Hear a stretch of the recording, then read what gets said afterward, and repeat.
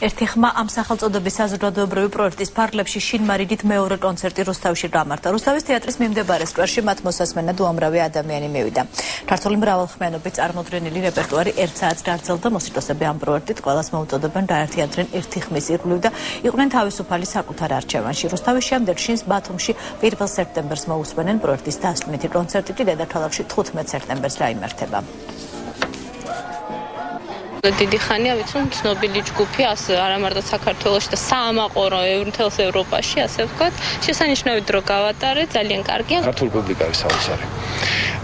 ესე რომ ბედნიერი ვარ ასე გულდა ბედნიერი ვარ იმის გამო რომ ეს რაც ჩვენ ჩავიფიქრეთ რაც რამაც გაიარა ჩვენში ჩვენ ის ადამიანი არის გონს ის ხომ მართლა ის გზნობა რითაც წამოვიდით და ერთხმად შეკურის მართლაც